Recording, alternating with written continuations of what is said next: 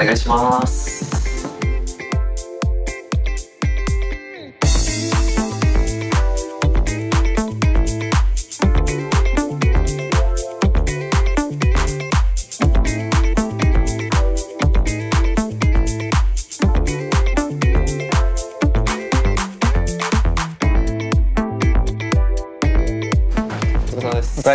じゃあ、あの今日の午後の打ち合わせのあの資料を作ってきたので、ちょっとレビューいただいてもいいですか？事前にレビューをいただけるなんてありがとうございます、はい。ありがとうございます。気合のほどは？気合はバッチリです。バッチリですか？いつもバッチリって言ってる気します。バッチリだよ気持ちの問題だからね仕事は。バッチリって思うことが大事だよまず。結局今日これ誰が喋るの？えっ、とまず僕が、うん。その最初のアジェンダであったりとか、うん。まあ打ち合わせの趣旨とかこの構成案のところについては話そうと思ってて、構成は素直くん作？はい。やるじゃんありがとうございます。コンタクトセンターシステムをはい入れるはい。ってことねそうです。概要は理解はい。ちょ細かいけどさそのアジェンダのページのあの一番右上のさ社外費 B 直して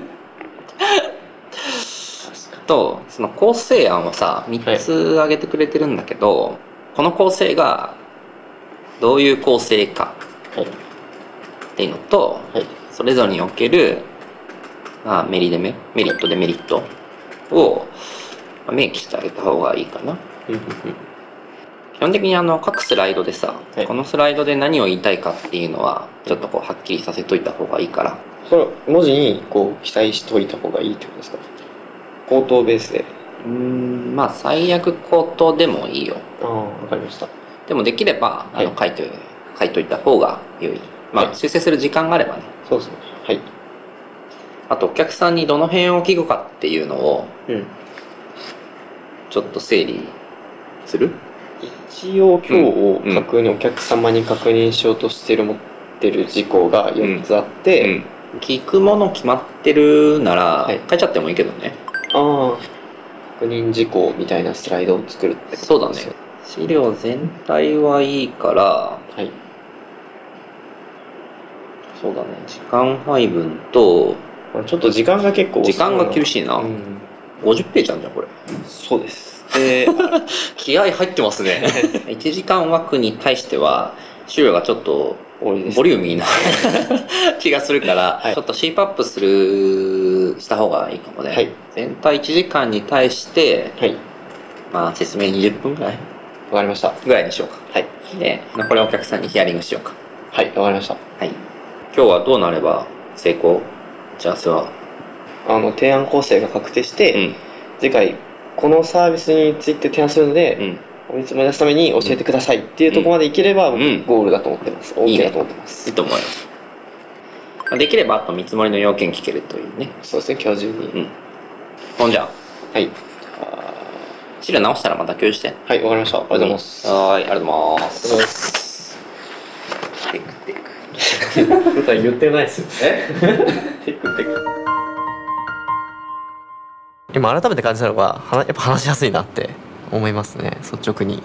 自信あると言い言いながら出しつつも、まあ、何かしらちょっとあるんじゃないかなとも思ってはいたのでこうそこを埋めていただいたのであのこれで指摘いただいたポイントさえ直せばあのこうお客さんにも自信を持って提案できるんじゃないかなっていう感じです。あじゃあ打ち合わせ行きます。お疲れ様です。お疲れ様です。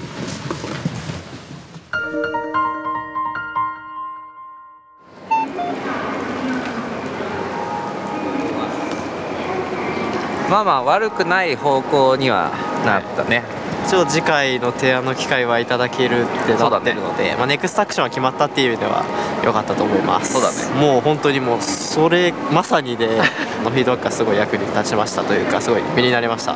そうだね。構成の部分ねもうちょっと説明できればよかったね密着いただきありがとうございましたすごいいい勉強いい経験になりました。まあ第三者目線でのコメントがしてあげられるっていうのは大事だなって思っています。